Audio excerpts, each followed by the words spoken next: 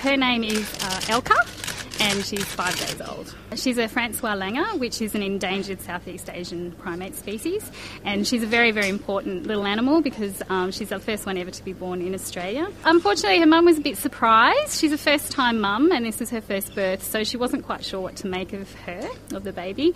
Uh, so she was a bit scared, and they, they didn't, they weren't that aggressive towards her, but they were just scared. They just didn't really know how to to sort of interpret what was going on. So we did actually, um, once we'd checked the baby and the vets had checked her and cleaned her up, we actually took her back and put her back in there, hoping that mum might just pick her up. But unfortunately, she just stayed away.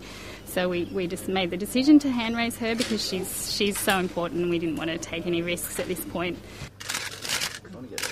Basically, we're mum to her um, especially in the first few weeks, it's really important. She has 24 hour a day care, so we're actually feeding her every three hours at the moment, um, and also, you know, taking care of all her other needs as well, social needs and comfort and that sort of thing. So, um, yeah, it's a full time job.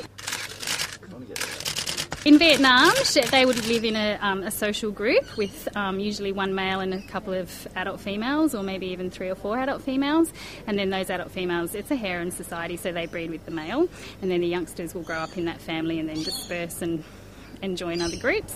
So um, yeah, so in the wild right now, she would be she would be quite. Um, quite a novelty in her group because they're actually born bright orange. You would have seen that she's got that bright orange little head, and by the time she's an adult, she's all black.